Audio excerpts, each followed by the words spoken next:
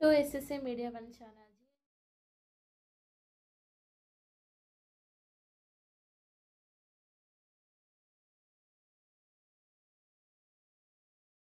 మార్చి నెల మొదటి వారంలోనే బాణుడి ప్రతాపం కనిపిస్తుంది. ఇప్పుడే ఇలా ఉంటే రానున్న రోజులు ఎలా ఉంటాయోననే భయం జనాల్లో కలుగుతుంది. ఫిబ్రవరి నెల మధ్య నుంచి సూర్య ప్రతాపం అధికంగా కనిపిస్తోంది. మార్చి ఏప్రిల్ మే నెలల్లో ఎండలు మరింత తీవ్రంగా ఉండవచ్చని వాతావరణ నిపుణులు అంటున్నారు. నలభై ఐదు డిగ్రీల వరకు సాధారణ ఉష్ణోగ్రతలు ఉంటాయని హెచ్చరిస్తున్నారు. యాభై డిగ్రీలుగా నమోదైన ఆశ్చర్యపోనక్కర్లేదని అంచనా వేస్తున్నారు.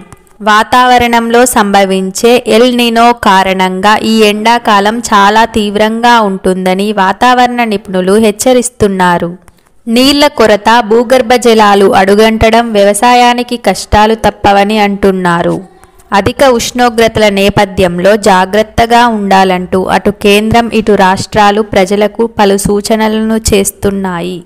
జాగ్రత్తలు తీసుకోవడంతో పాటు ఆహారంపై దృష్టి సాధించాలని కోరుతున్నాయి. దినసరి కూలీలు ఉదయం పూటనే పనులు పూర్తి చేసుకొని మధ్యాహ్నంలోగా ఇంటికి చేరేలా చూసుకోవాలని సూచిస్తున్నారు.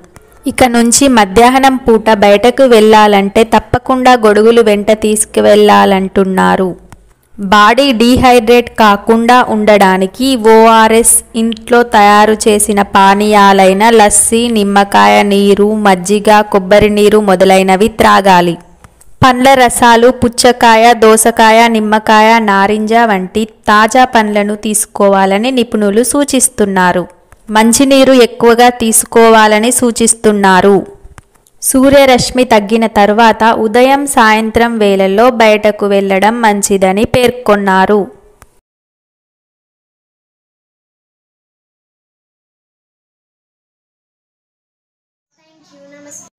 సో విన్నారు కదా అండి? ఈ వీడియో కనుక మీకు నచ్చినట్టయితే like share comment and do subscribe and click the bell icon. Thank you SSC media one channel.